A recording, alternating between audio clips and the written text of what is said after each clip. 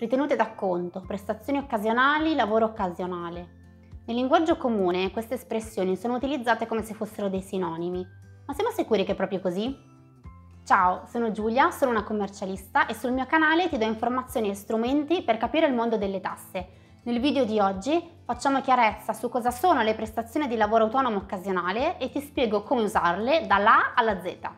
Comunemente quando si parla di ritenuta d'acconto ci si riferisce al lavoro autonomo occasionale, che è un tipo di lavoro che viene spesso semplificato in lavoro occasionale o prestazioni occasionali. Se però togliamo la parola autonomo, rischiamo di confondere questo tipo di prestazioni lavorative con delle altre che purtroppo hanno un nome simile ma che sono molto diverse e che sono le prestazioni di lavoro occasionale. Queste prestazioni una volta si chiamavano voucher, quindi avevano un nome che le distingueva più facilmente, oggi purtroppo hanno un nome molto simile al lavoro autonomo occasionale. Sono però delle prestazioni di lavoro, potremmo dire simil dipendente, e che viene solitamente utilizzato per attività quali il lavoro domestico o piccole attività manuali, come ad esempio il giardinaggio.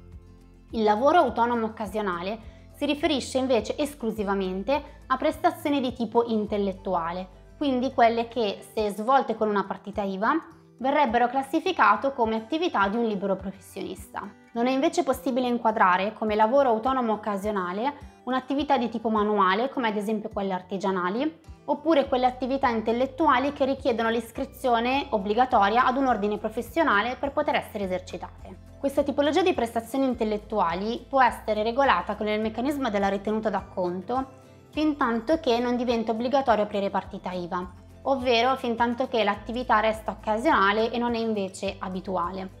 Non è sempre semplice capire se un'attività è fatta in modo occasionale o abituale, perché non esistono dei criteri oggettivi, dei parametri fissi per stabilire il confine tra abitualità e occasionalità. È una valutazione che va fatta caso per caso considerando la situazione nel suo complesso. Se vuoi approfondire questo tema ti lascio qui sotto nella descrizione del video il link ad un articolo nel mio blog in cui ti spiego un po' più nel dettaglio come funziona e ti faccio degli esempi concreti. In questo video ti specifico però una cosa molto importante. Il limite di 5.000 euro di cui sicuramente avrai letto non è un limite che individua quando devi aprire o non devi aprire partita IVA. È un limite che identifica soltanto la soglia al di sopra della quale, anche per le prestazioni di lavoro autonomo occasionale, devi versare contributi alla gestione separata IMSS.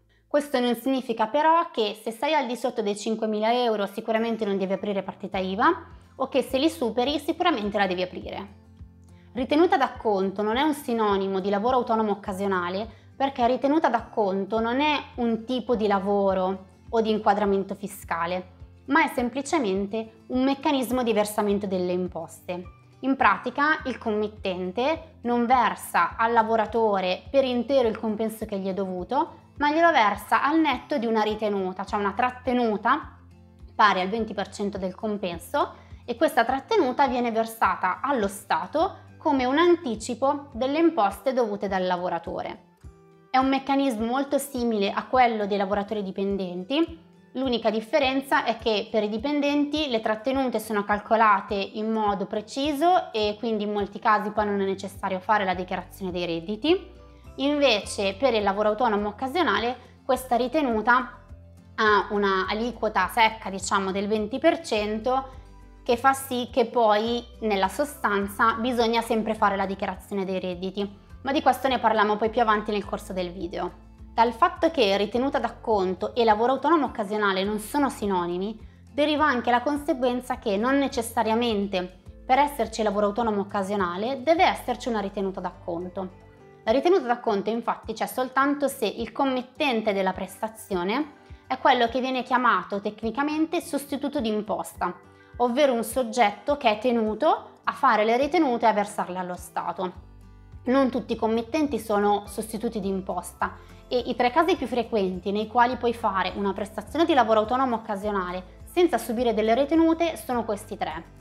Innanzitutto se il tuo committente è un privato, una persona senza partita IVA. Il secondo caso è quello in cui il tuo committente è magari un'azienda ma non è italiana, è un'azienda estera e il terzo caso è quello in cui il tuo committente ha una partita IVA italiana ma è in regime forfettario.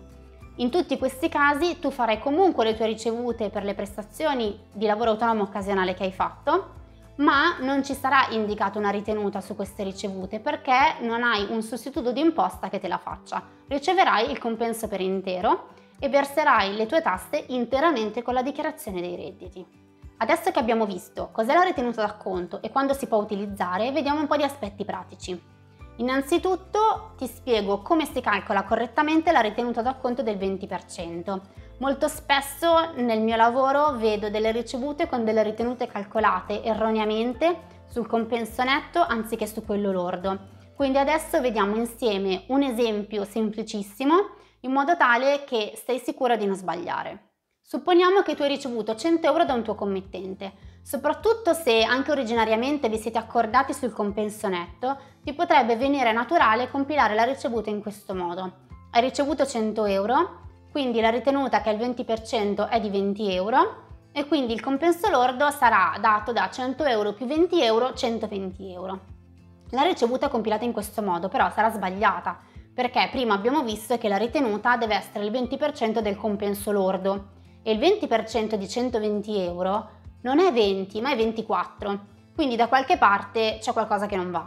Per calcolare la ritenuta nel modo corretto, quindi non puoi partire dal compenso netto, ma devi prima calcolare il compenso lordo. Ma come fai a calcolare il compenso lordo se conosci solo quello netto? Dobbiamo fare un piccolo ragionamento matematico.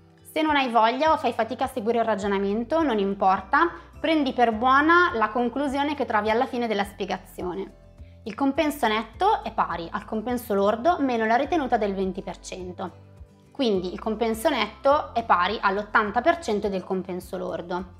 Se giriamo l'equazione, otteniamo quindi che il compenso lordo è pari al compenso netto diviso 80%. Se lo fai con la calcolatrice è sufficiente che prendi il compenso netto e poi digiti diviso 0,8. In questo modo otterrai il compenso lordo. A questo compenso lordo andrai poi ad applicare la percentuale del 20% per trovare la ritenuta corretta. Tornando all'esempio di prima, se il compenso netto è 100 euro, il compenso lordo sarà 100 euro diviso 80% che è pari a 125 euro. La ritenuta sarà quindi pari al 20% di 125 che è 25 euro e infatti poi tutto torna perché a questo punto abbiamo compenso lordo 125 euro meno ritenuta 25 euro, compenso netto 100 euro. Una volta che hai calcolato correttamente gli importi di compenso netto lordo e ritenuta, devi compilare la tua ricevuta. Nella ricevuta dovrai inserire correttamente tutti i dati anagrafici tuoi del tuo committente e devi anche inserire tutte quelle diciture necessarie per far sì che la tua prestazione sia inquadrata correttamente come lavoro autonomo occasionale dal punto di vista fiscale, previdenziale e dell'IVA. Per aiutarti ho preparato un facsimile che puoi utilizzare per preparare le tue ricevute e che contiene già tutte le diciture necessarie. È un facsimile in Excel che ti aiuta anche a calcolare la ritenuta correttamente, sia partendo dal compenso lordo che da quello netto, a seconda di come ti è più comodo. Puoi scaricare gratuitamente il facsimile che ho preparato cliccando sul link che trovi qui sotto nella descrizione del video. Ricordati anche che le ricevute devono essere numerate progressivamente con una numerazione univoca per tutti i clienti. Quindi ad esempio potrai fare la ricevuta 1 per il cliente X, la ricevuta 2 per il cliente Y e poi una ricevuta 3 nuovamente per il cliente X. Se la ricevuta supera l'importo di 77,47 euro, devi applicare sulla ricevuta stessa anche una marca da bollo da 2 euro. La marca da bollo va comprata preventivamente perché non può avere una data successiva a quella della ricevuta. Quando tu compri le marche da bollo in tabaccheria, quando te la stampano, viene riportata sulla marca da bollo stessa la data in cui è stata stampata. Questa data può essere uguale o antecedente a quella della tua ricevuta.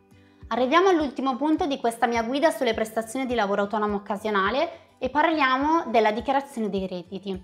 Come abbiamo accennato prima, la ritenuta è una ritenuta d'acconto e si chiama così proprio perché quella che ti viene fatta è soltanto un acconto delle imposte che devi versare.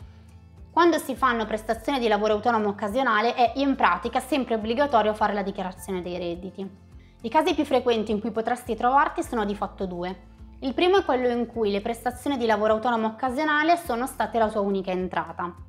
In questo caso, se il totale dei compensi lordi è inferiore a 4.800 euro, allora rientri nella fascia di contribuenti cosiddetti incapienti. Quindi in realtà non devi versare nessuna imposta. Una parte di imposta però l'hai già pagata tramite le ritenute d'acconto che ti sono state fatte. Quindi devi presentare la dichiarazione dei redditi per chiedere a rimborso queste ritenute. Il secondo caso abbastanza frequente è quello in cui le prestazioni di lavoro autonomo occasionale accompagnano un lavoro dipendente. In questo caso la ritenuta d'acconto del 20% sarà insufficiente perché il 20% è più basso dell'aliquota minima dello scaglione più basso dell'IRPEF che è il 23%. Quindi devi fare la dichiarazione dei redditi per versare la differenza tra le imposte effettive e la ritenuta che ti è stata fatta.